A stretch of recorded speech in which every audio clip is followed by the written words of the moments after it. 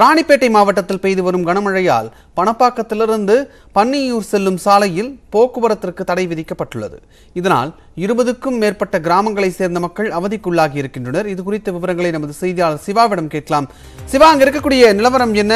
பாதிக்கப்பட்ட மக்கள் என்ன சொல்றாங்க? அவங்களுக்கு என்னென்ன ஏற்பாடுகள் செஞ்சிருக்காங்க? விவரம் என்ன? நிச்சயமாக பலா பணப்பாக்கத்திலிருந்து பன்னீர் செல்லும் சாலை வந்து போக்குவரத்து தடை செய்யப்பட்டுள்ளது. ராணிப்பேட்டை மாவட்டம் நெமிரி பணப்பாக்கத்தில் பகுதிகளுக்கான கடந்த சில நாட்களாக ப- பருவமழை காரணமாக மழை பெய்து. இதன் மழை காரணமாக காவேரி பாக்கம் ஏரியிலிருந்து இந்த தண்ணீர் நிரம்பி அதன் உபரி நீராக வெளியேற்றப்படுகிறது. இது மேலும் இந்த மழை காரணமாக நிலங்களில் உள்ள தே- தண்ணீரும் மற்றும் அந்த காவேரி பாக்கத்தில் இருந்து உபரி நீருமானது உபரி நீருமானது பணப்பாக்கத்திலிருந்து பன்னூர் சாலையில் வந்து அந்த ஒரு வழி தரைப்பாலத்தின் அடியாக மேல் இரண்டு அடிக்கு மேல் வந்து இந்த தண்ணி செல்கிறது. இந்த இந்த நிலையில் இந்த இடத்தை நெமிலி வட்டாட்சியர் சுமதி அதிகாரிகள் ஆய்வு செய்து இதை இந்த சாலையை சார்பில் பணப்பாக்கத்தில் இருந்து தண்ணீர் செல்லும் சாலை தரைப்பாலம் பொதுமக்கள் செல்வதற்கான தற்காலிகமாக தடை விதித்த விஷ்ணு.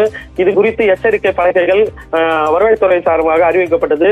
மேலும் அப்பகுதி மக்கள் கூறுகையில் இந்த மழைக்காலங்களில் இந்த தரைப்பாலம் வெள்ளம் வெள்ளம் செல்வதாலும் அடிக்கடி போக்குவரத்து துண்டிக்கப்படுவதாகவும் அத்தியாவசிய பொருட்கள் அத்தியாவசிய பொருட்கள் வாங்க செல்வதாகவும் நகர்ப்புறத்தில் செல்லாத இருபதுக்கு செல்வது முடியவில்லை என்று குற்றச்சாட்டுகள். மேலும் அந்த பாலமானது இருபதுக்கு மேற்பட்ட கிராமங்களில் இந்த தரைப்பாலம் தாண்டித்தான் பணப்பாக்க வர வேண்டும். ஆகையால் போ ஆகையால் அந்த தரைப்பாலம் முழுமையாக போக்குவரத்து துண்டிக்கப்பட்டதால் பள்ளி செல்லும் கல்லூரி செல்லும் மாணவர்களுக்கு மற்றும் தொழிற்சாலை செல்ல செல்ல முடியாத சூழ்நிலை ஏற்படுகிறது விஷ்ணு.